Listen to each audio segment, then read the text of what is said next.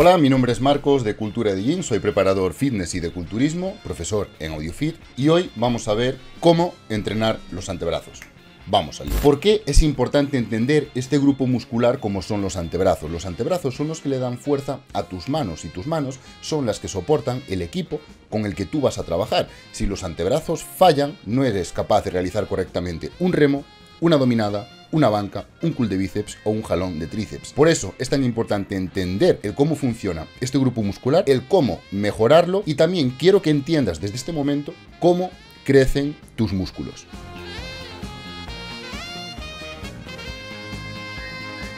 De todos los aspectos que tienen relevancia para desarrollar tu musculatura, la que más evidencia y más peso tiene es la tensión mecánica. Tus músculos crecen por la tensión que les generamos mediante cargas, mediante resistencias y en definitiva esa tensión que nuestros músculos fibra a fibra soportan hace que se den una serie de eventos bioquímicos dentro de la propia célula que incremente la síntesis de proteínas musculares y hace que estas fibras musculares sean más grandes. Este proceso mediante el cual esta energía mecánica se transforma en procesos bioquímicos dentro de la propia célula se llama mecanotransducción. Entonces, entendiendo esto y entendiendo que lo que queremos es mejorar la síntesis proteica muscular, en este caso dentro de los propios antebrazos, debemos tener claro que lo que le tenemos que dar a los antebrazos es tensión. Y aquí es cuando te tienes que preguntar, ¿cuál es la mejor forma de aplicar tensión a los antebrazos? Eso es lo que te voy a explicar ahora mismo.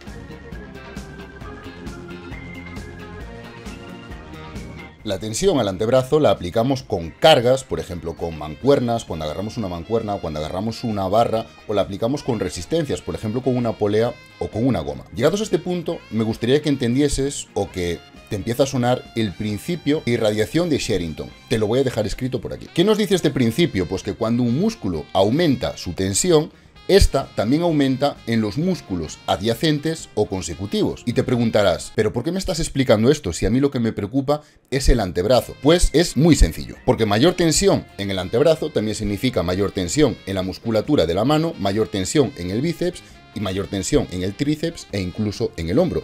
Te invito a comprobarlo. Mira, intenta apretar fuerte el bíceps pero con la mano abierta. ¿Vale? Hazlo conmigo. Intenta apretar bien fuerte el bíceps. ¿A qué eres capaz de apretarlo bastante? Vale pero si cierras el puño y aprietas el puño, verás cómo eres capaz de hacer más fuerza en el bíceps.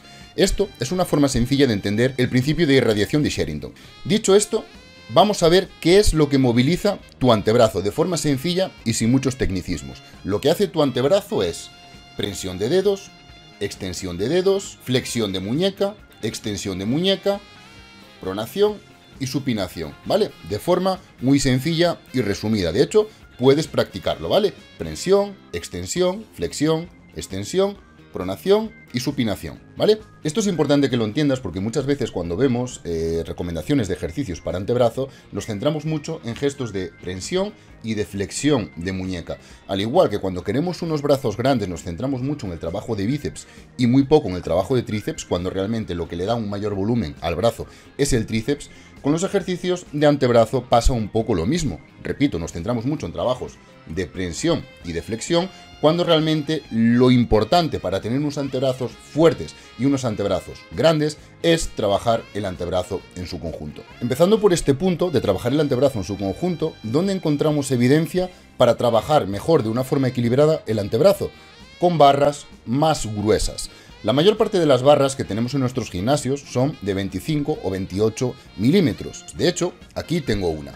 Con una barra tan fina o una barra tan delgada, si hacemos fuerza, veremos que ejercemos una gran tensión en la musculatura flexora de la mano y en la musculatura flexora del antebrazo, es decir, la musculatura de la cara interna o de la cara inferior del antebrazo en función del plano. Si tuviésemos una barra más gruesa o un agarre más amplio, las fuerzas se distribuirían mucho mejor entre la musculatura flexora y la musculatura extensora del antebrazo, trabajando mucho mejor este grupo muscular en su conjunto. Y te preguntarás, pero Marcos, ¿Esto realmente es importante o es relevante? Y la respuesta es sí. Como este quiero que sea un vídeo más práctico que teórico, te voy a invitar a hacer una prueba casera. Te voy a pedir que busques dos objetos cotidianos que prácticamente todo el mundo tiene en su casa, ¿vale? El primero es algo similar a un lápiz, un bolígrafo, yo tengo un rotulador, ¿vale? Pero te pido que busques algo de un diámetro similar. Este es el objeto número uno. El segundo objeto que quiero que busques es algo tipo eh, una taza, una lata de refresco o algo de un diámetro mayor, ¿vale? Yo, por ejemplo, tengo una taza, eh, la taza de cultura de Jim, ¿vale? Pero te voy a pedir que sea un objeto con un diámetro mínimo que te impida tocar con el dedo pulgar y el dedo medio, ¿vale? Es decir, algo que te impida cerrar el agarre. Bien, una vez tengamos estos dos objetos, ¿vale? Puedes detener, detener el vídeo, los buscas. Una vez tengas estos dos objetos, te voy a pedir que el primer objeto lo agarres fuerte, lo aprietes con toda tu fuerza y lo mantengas apretado durante unos segundos, ¿vale? Verás que según vayan avanzando los segundos, va a ir aumentando la presión en la mano, la presión en la muñeca y probablemente acabes incluso notando presión en el propio codo, ¿vale? Una vez identifiques esto, lo tengas claro, sueltas, dejas el primer objeto y agarras el segundo objeto, ¿vale? El de un diámetro mayor. Volvemos a repetir la operación aprietas con la máxima fuerza posible y aunque veas que quizás la dificultad es un poco mayor, sobre todo porque no estás acostumbrado, ¿vale? Aprieta con toda la fuerza que puedas. Verás que van pasando los segundos, pero la presión en la muñeca es menor y probablemente no acabes ni notando presión en el codo. Lo que sí notarás es que el antebrazo en su conjunto se fatiga antes y esto es lo relevante y es lo que quiero que entiendas. Y si te preguntas si sobre esto hay evidencia o si esto tiene algún tipo de transferencia al deporte, la respuesta es sí, de nuevo. De hecho, te dejaré por aquí un estudio, yepa, arriba, el cual nos dice lo siguiente. En este estudio se comparó un agarre estrecho con un agarre medio y un agarre más ancho, ¿vale? Es decir, un agarre ancho. Con el agarre estrecho se podría apretar más fuerte, es decir, se puede hacer una mayor contracción voluntaria máxima, algo que es lógico y ya hemos comprobado. En cambio, aunque con el agarre más ancho se obtuvo una contracción voluntaria más débil, se encontró una mayor respuesta neuromuscular. Algo que a estas alturas del vídeo ya debes entender el por qué es lo que buscamos y es lo más importante. Siguiendo con literatura, dejo por aquí otro estudio, arriba, donde se ve como con una barra fina los músculos del antebrazo se tienden a relajar más. Es decir, con una barra típica de gimnasio de 25, 28 milímetros, en un curl de bíceps, los músculos del antebrazo se tienden a desconectar antes, sobre todo en la fase excéntrica, algo que no ocurre con la barra más ancha, ya que con la barra más ancha, dada la dificultad del agarre, mantenemos una tensión constante en el antebrazo, tanto en la fase concéntrica como en la fase excéntrica.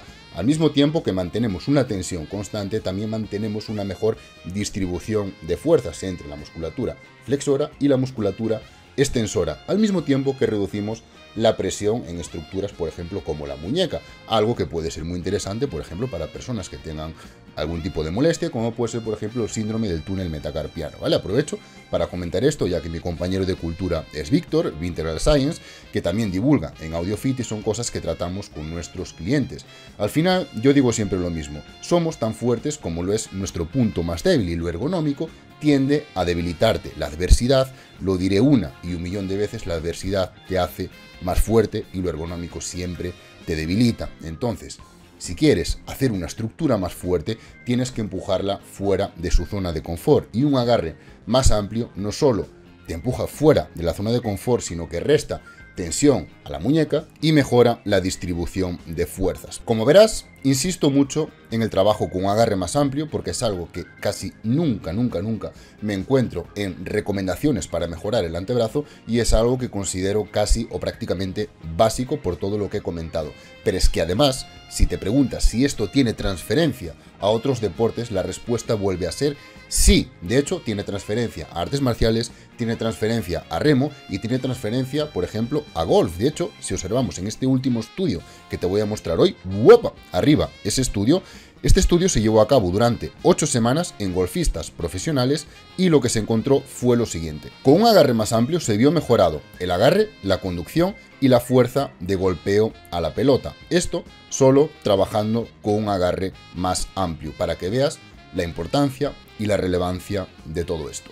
Por último, y ya por finalizar, si te preguntas, vale, me sé la teoría, sé cómo se trabaja bien el antebrazo, pero ya, Marcos, recomiéndame tres ejercicios para el antebrazo. Vamos con ello.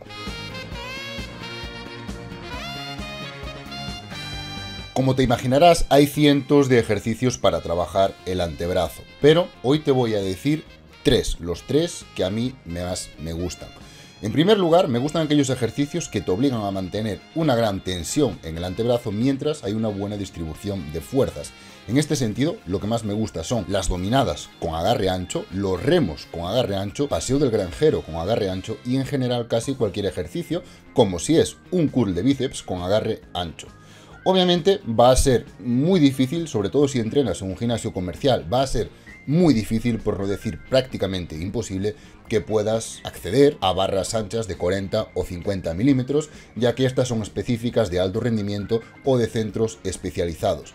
Pero tienes la opción de utilizar fat grips o incluso tienes la opción de utilizar algunos pequeños trucos como es el colchoncito de la sentadilla, el tan criticado colchón de la sentadilla, para colocarlo en la barra de dominadas y hacer dominadas con un agarre más amplio, incluso de colocarlo en una barra y hacer pull de bíceps o cualquier ejercicio con un agarre más ancho. El segundo ejercicio que me gusta mucho es agarrar un disco al vuelo. ¿Por qué? Porque te obliga a ejercer un alto grado de tensión y a mantenerla durante unos segundos para que el disco no se caiga al suelo.